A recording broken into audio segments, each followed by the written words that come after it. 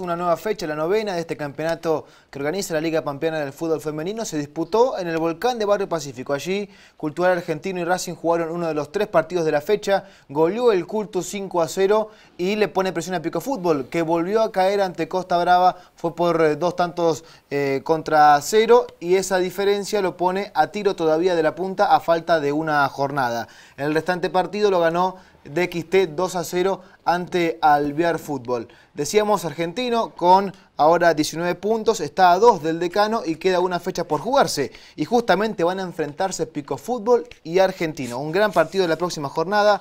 Racing ante DXT y Costa ante Alvear Fútbol van a ser los partidos del día.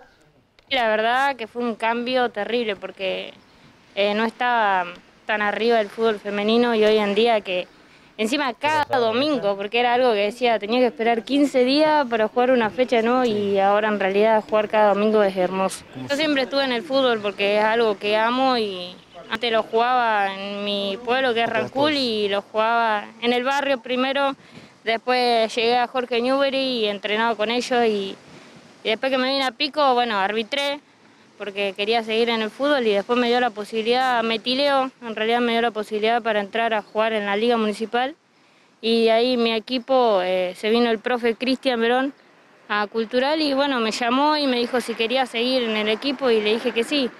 Así que yo siempre ligada al fútbol, siempre. Lo que pasa es que yo cuando era chica tuve una personita que, que hoy no está, que es mi hermano, que cada día, cada domingo que juego los partidos se la dedico a él que hace seis meses que se fue. Eh, y él siempre me exigió jugar al fútbol con él, porque era el único varón de la familia y era como, jugás conmigo y jugás conmigo. Y entonces era como que, bueno, dale, vamos. Y ahí me empezó a gustar, a amar el fútbol siempre. Y en realidad que juego en la liga o son tres años nada más. Eh, ¿Cómo está el culto para pelear el campeonato de Liga Pampeana? Eh, voy a rescatar que Pico Fútbol sí es un gran equipo y lo voy a decir siempre pero cultural tiene mucho y lo que más tenemos es garra y eso es lo principal. Más allá que tenemos buen juego, que tenemos un gran equipo y que somos unidas todas, tenemos garra y siempre lo vamos a ir a buscar y tenemos un profe que siempre nos está alentando y nos saca adelante.